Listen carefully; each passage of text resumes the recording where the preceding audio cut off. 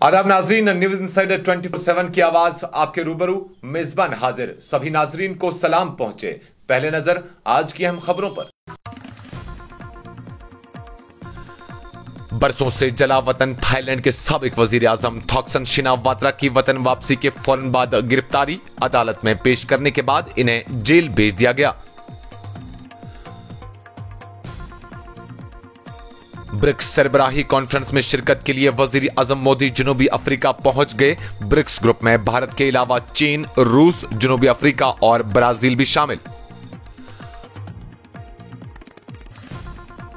मगरबी बंगाल असेंबली में अपोजिशन सियासी जमात बीजेपी ने जादवपुर यूनिवर्सिटी में तालब इलम की गैर फितरी मौत के वाक़े पर असेंबली में अल्तवा पेश की। स्पीकर ने तजवीज मंजूर कर ली।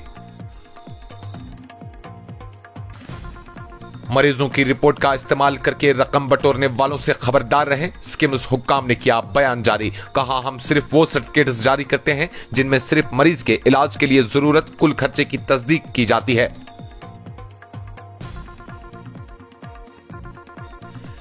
चंद्रयान तीन शेड्यूल के मुताबिक अपनी मंजिल की जानब गामजन, इसरो ने कहा, रूस के लूना 25 मिशन की नाकामी के बाद अब सबकी नज़रें भारत के चंद्रयान तीन पर मरकूज हैं। दफ़ा 370 की मनसूखी, भारत और आइन की बुनियादों पर हमला है। सीपीआईएम के रहनुमा मोहम्मद यूसुफ तारेगामी ने कहा, अगर सुप्रीम कोर्ट ऐसा नहीं करती है, मरकज के गैर आईनी इकदाम को नहीं रोका जाता तो इसके गहरे असरात मरतब होंगे।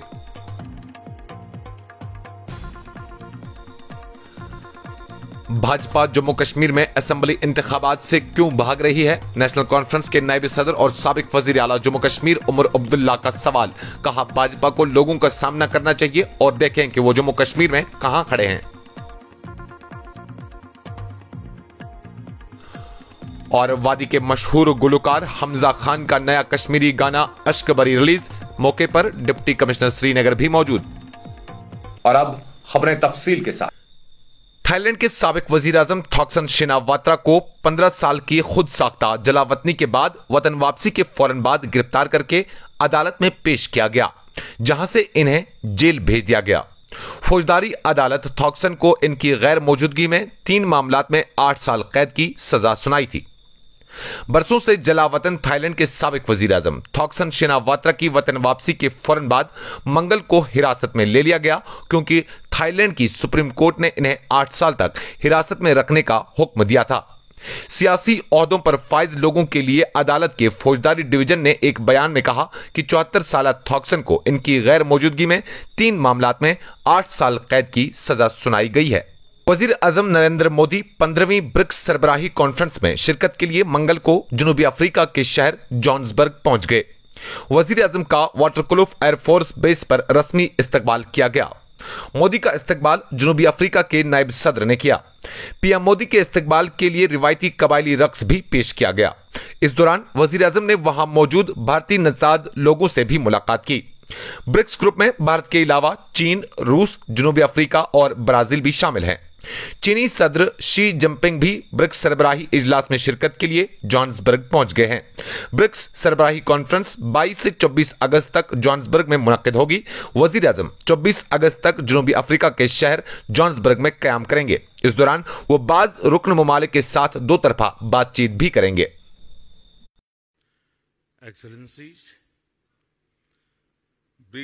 समुदाय के लीडर्स आप सबको नमस्कार।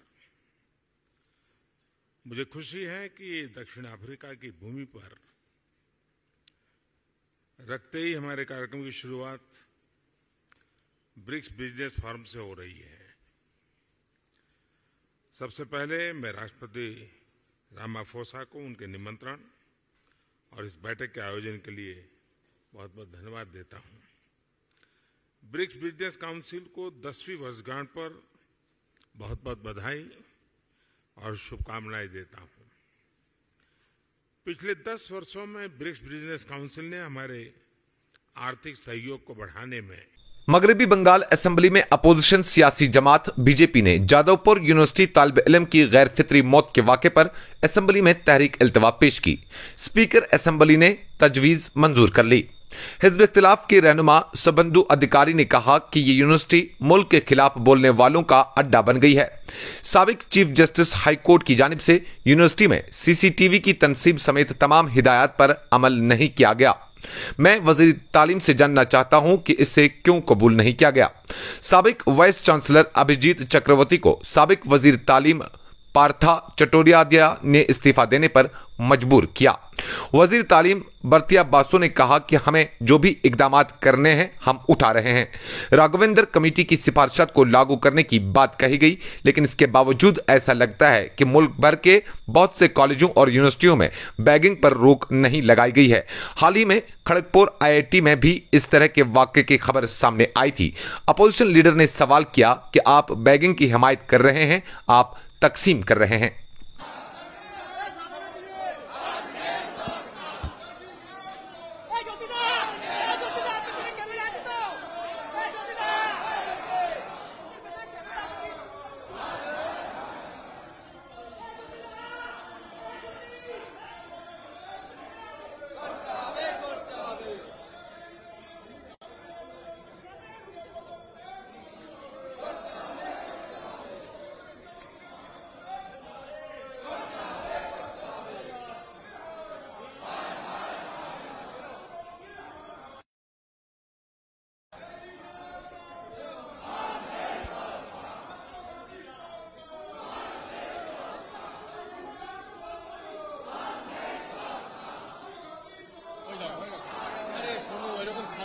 তুলে দিলে হয় বলো Sher Kashmir institute of medical sciences SKIMS Soura के हुक्काम ने लोगों को इन धोखाबाजों से होशियार रहने की ताकीद की जो इस इदारे की तरफ से जारी करदा मरीजों की रिपोर्ट्स को इस्तेमाल करके लोगों से पैसा बटोरते हैं इंस्टीट्यूट की तरफ से मंगल को जारी एक बयान में कहा गया कि कुछ धोखेबाज मुबैना तौर पर स्किम्स के मुख्तलिफ शोबों की तरफ से जारी करदा सीटी स्कैन पीईटी स्कैन और इस तरह की मरीजों की रिपोर्ट्स को ज़ाहिर करके मरीजों के लिए रकम इकट्ठा करते हैं।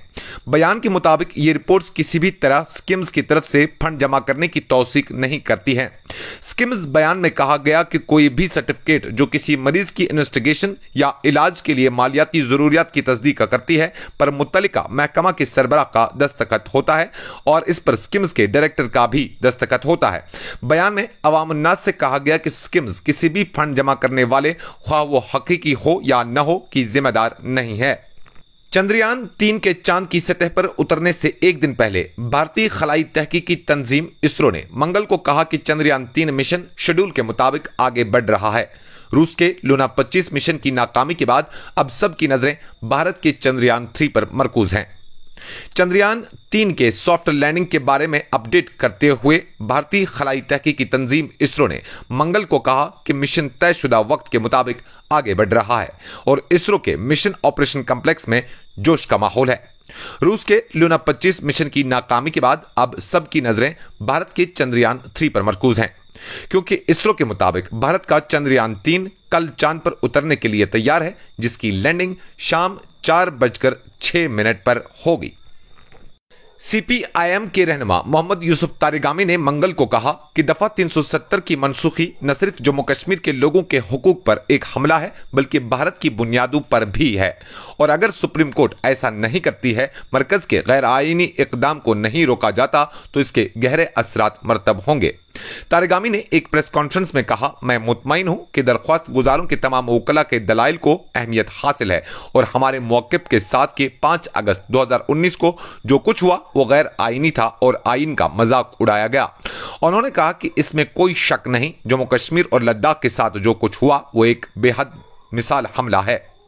तारगामी ने कहा, यह हमला सिर्फ़ जम्मू कश्मीर तक महदूद नहीं है। ये न सिर्फ़ जम्मू कश्मीर के लोगों के हकूक पर हमला है, बल्कि यह खुद जमहूरिया हिंद की बुनियादों पर हमला है।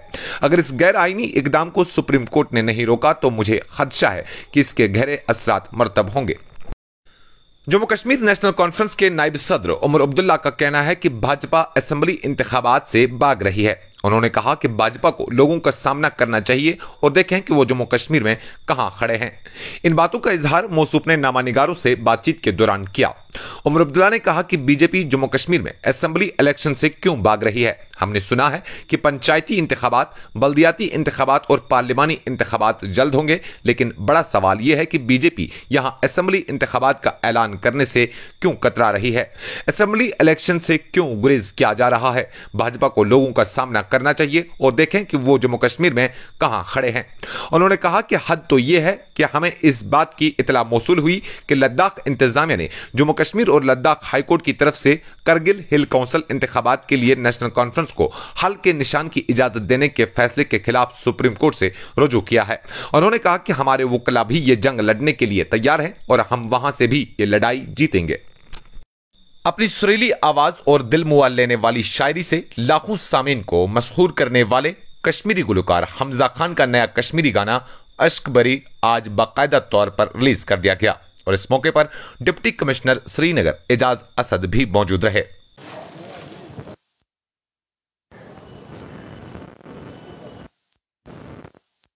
कश्मीर में इसको शूट भी डाउनटाउन इसलिए इसके लिए चुना आपने इसके पीछे वजह? जी बेसिकली कश्मीरी सॉन्ग है कश्मीरी लैंग्वेज है तो उस वजह से हमने कश्मीर की लोकेशन चुनी।